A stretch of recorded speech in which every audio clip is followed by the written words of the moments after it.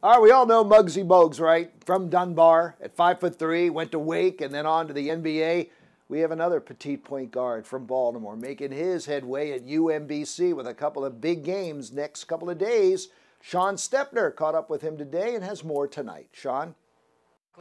When UMBC is on the court, he's tough to miss. No, we're not talking about the tallest retriever. We're talking about the smallest, Darnell Rogers. Whoa, Darnell Rogers! Your eye is immediately drawn to number two.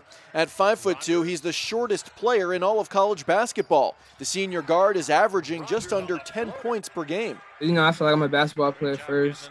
I don't feel like my height um, plays a part in what I can do on the court. I feel like I can do everything. The son of Baltimore's own Shawnta Rogers, Darnell grew up in Baltimore before moving to France while his dad played pro ball in Europe. Darnell bounced around a few programs back in the U.S. before landing back at home at UMBC. I've never doubted myself. I've seen what I was able to do on the court, and I just stuck with that, really. He's never let his size become a negative for him. Or he's he's always always been a positive, and uh, you know I think that's that's what I love most. He's got no fear. You might think he's a magnet for trash talk at his height. Quite the opposite.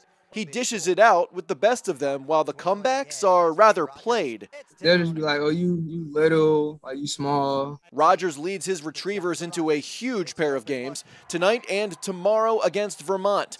Both teams tied atop the America East standings at nine and three.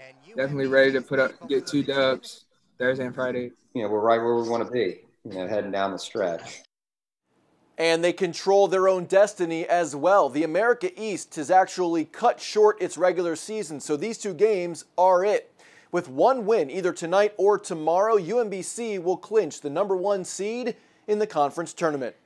Sean Stepner, WMAR2 News.